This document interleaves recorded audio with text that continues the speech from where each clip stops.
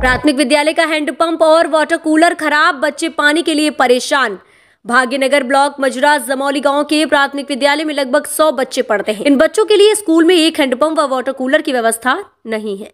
आपको बता दें कि हैंडपंप और वाटर कूलर पिछले दो माह से खराब पड़ा है, लेकिन हैंडपंप को ठीक कराने के लिए किसी का ध्यान नहीं है। बच्चे बोतलों में पानी लेकर स्कूल पहुँचते हैं। जो बच्चे बोतल से पानी नहीं ले जाते हैं, वह गाँव के अंदर इधर उधर से घरों में जाकर पानी पीते प्रार्थना के अलावा लंच के समय स्कूल में यही हाल नज़र आता है।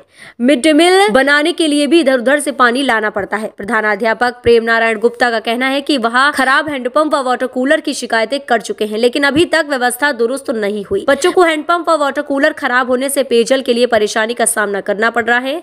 वही ग्राम प्रतिनिधि आपको बता दें कि वहीं ग्राम प्रधानपति अमित कुमार ने कहा है कि हैंडपंप व वाटर कूलर खराब होने की शिकायत मिली है। जल्द ही व्यवस्था को दुरुस्त कराया जाएगा। गाँव के बच्चों को परेशानी नहीं होने दी जाएगी। इसके अलावा प्रशासन से भी बात की जाएगी। इस संबंध में प्रभारी बेसिक शिक्षा अधिकारी वीरेंद्र पांडे ने बताया, खराब पड़े हैंडपंप व वाटर कूलर के दुरुस्तीकरण के लिए ग्राम प्रधान से कहकर दुरुस्त करवाया जाएगा। बच्चों को पानी की परेशानी नहीं होने दी जाएगी।